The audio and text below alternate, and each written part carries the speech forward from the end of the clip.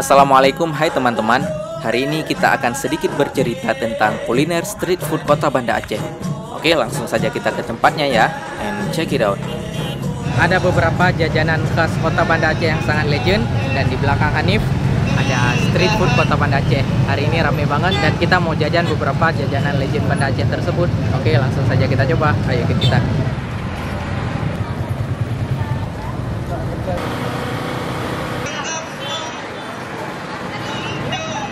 Yang pertama, kita akan mencoba martabak telur Aceh.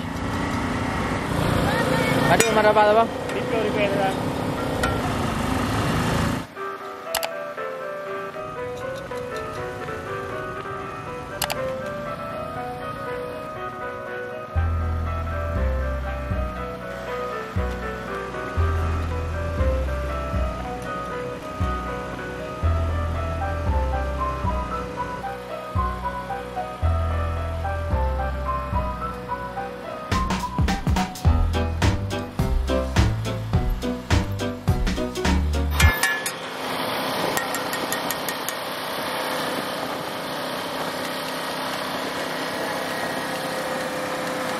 Martabak Aceh ini konon katanya mirip seperti telur dadar gitu sih. Tapi bagi orang Aceh, ini martabak loh.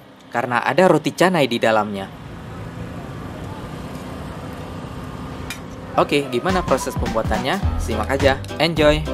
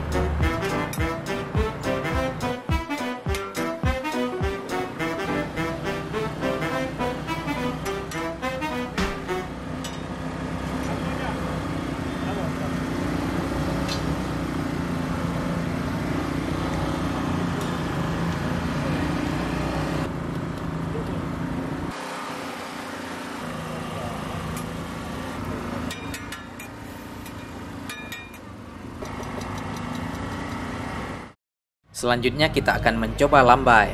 Teman-teman tahu nggak lambai itu apa? Lambai itu dibuat dari 44 jenis daunan berwarna hijau yang dia kini masing-masing mempunyai khasiatnya tersendiri. Ada apa aku lambai, Bu? Lima ribu deh. Mana buku apa? Oh, apa tu macam un, Bu? Lopet. Lepet. Daun-daun itu bisa diperoleh dari pekarangan rumah dan sebagian diambil dari hutan. Walaupun sekarang sangat susah mencari daun tersebut, tapi makanan lambai ini masih bisa ditemukan kok. Makanan lambai ini umumnya banyak tersedia pada bulan Ramadan. Pada bulan-bulan biasa, sepertinya agak sedikit susah mencari makanan lambai ini.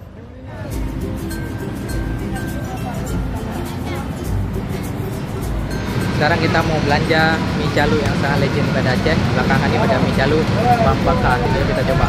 Selanjutnya, mie Aceh. Nah, kalau makanan yang satu ini nggak perlu kita ulas panjang lebar lagi. Teman-teman pasti udah pada tahu.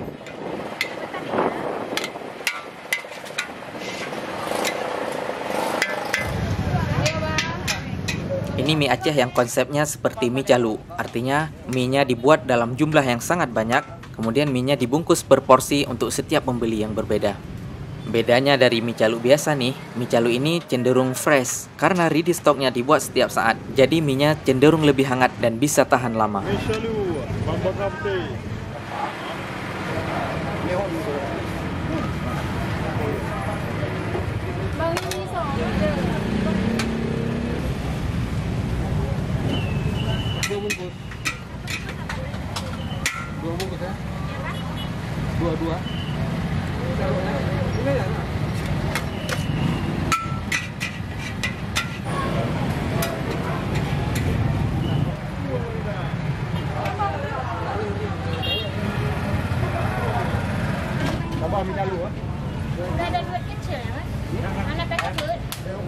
Nampak nak kena nyawa kena tak betul.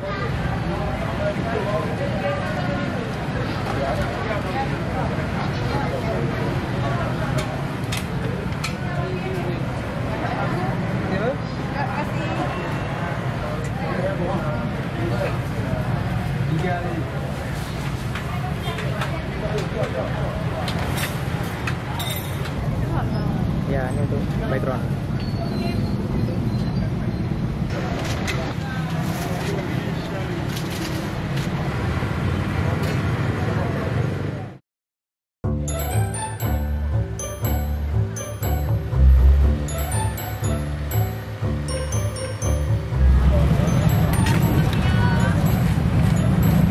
selanjutnya minuman.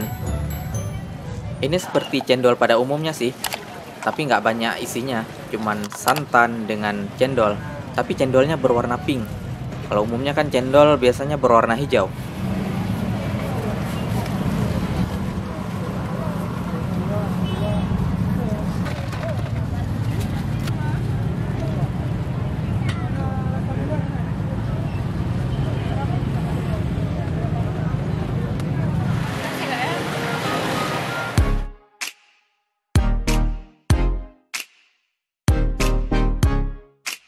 Oke, dan yang terakhir, ini namanya pecal Aceh.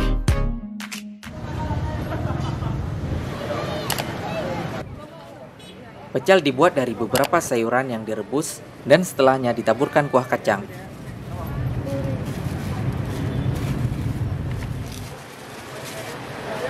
Kalau makanannya dibungkus, biasa kuah kacangnya dipisah dengan sayur-sayurannya. Dan yang menentukan rasanya itu ada di kuah kacangnya yang dibuat dengan bumbu rahasia.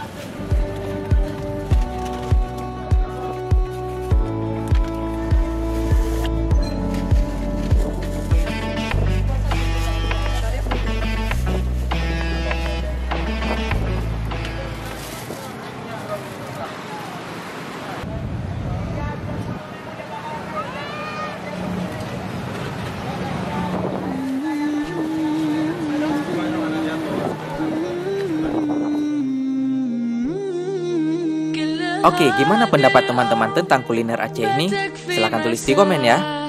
Sekian sharing kita hari ini. Mohon maaf apabila ada kekurangan. Saya Hanif. Sampai jumpa di video selanjutnya. Assalamualaikum warahmatullahi wabarakatuh.